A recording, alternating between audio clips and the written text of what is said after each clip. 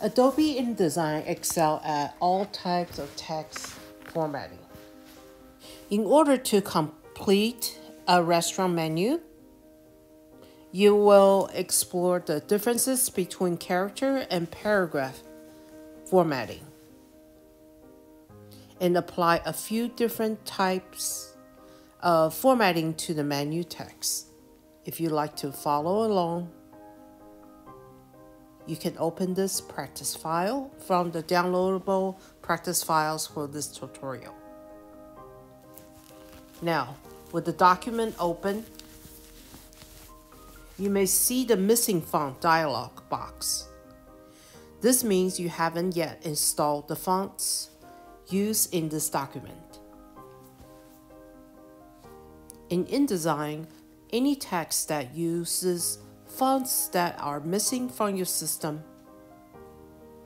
will be highlighted in pink in the document. To see the pink highlighting,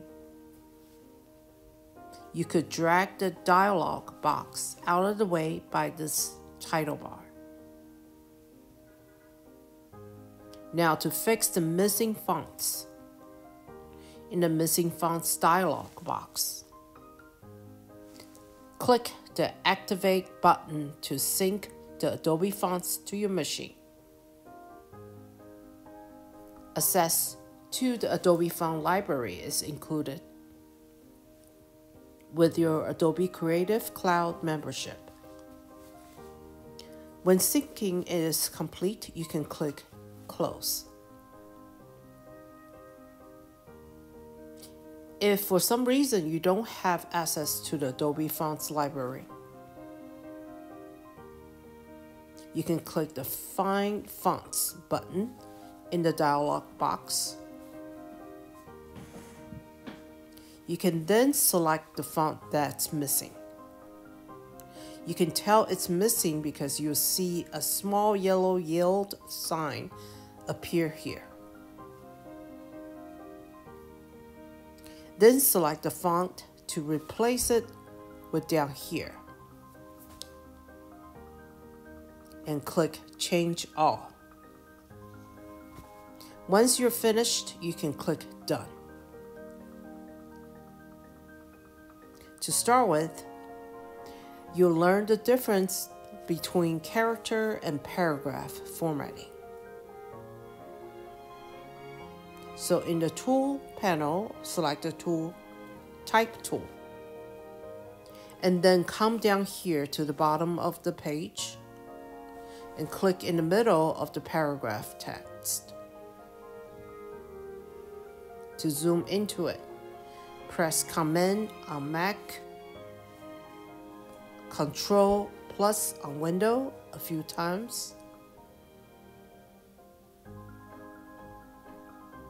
Now, if you look in the properties panel on the right, you'll see this character section of formatting.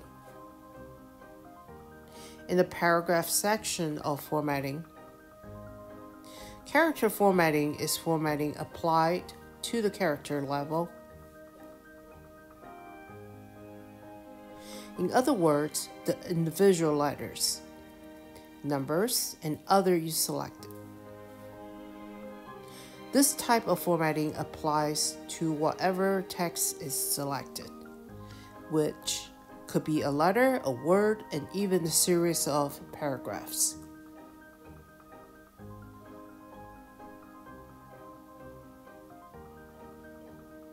Click to insert the cursor after the text at the beginning of the text down here.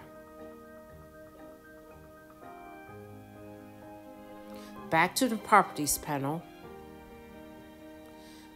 click the kerning value to choose 200. Kerning is the space between characters.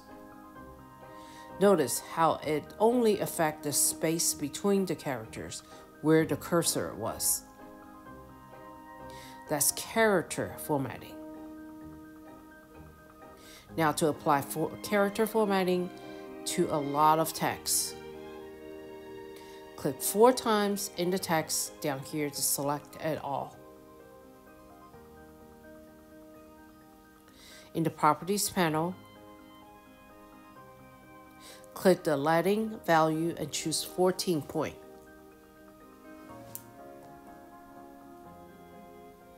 Leading is the distance between the baselines of text. If you look at the lines of text down here, pretend that each line of text is sitting on an imaginary line. The distance between those lines is the leading value. Now to move up to the top of the page, press the Option key on Mac or the Alt key on Windows to access the Hand tool temporary. And press and drag in the document window. Now you see the text up here. Then release the key. Now you wor work a little bit with paragraph form formatting. Formatting you see in the paragraphs section of the Properties panel. It's applied to entire paragraphs, regardless of what's selected in the paragraph. For example, select the word Swiss by double-clicking the word. Then in the Properties panel,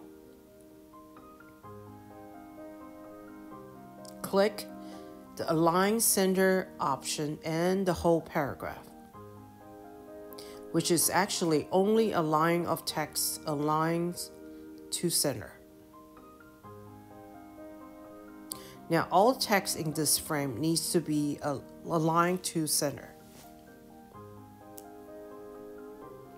To do that, you will select all the paragraphs. So choose Edit, select All,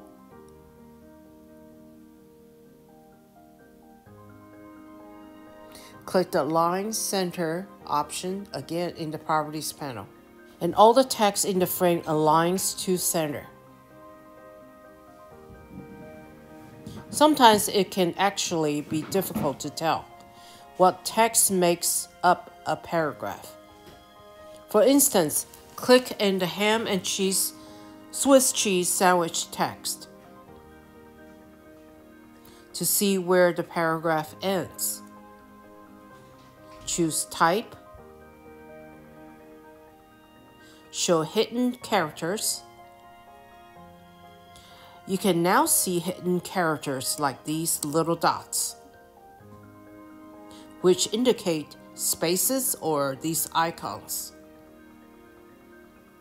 which indicate the end of a paragraph, and other marks that don't normally show or print. To hide those characters again, choose Type, Hide Hidden Characters. And then you can see the entire page. Choose View, Fit Page in Window. Now that you understand character and paragraph formatting if you discover a few of the many different formatting options available. In your own project, you can start to apply different types of formatting and continue to explore all the formatting options available to you.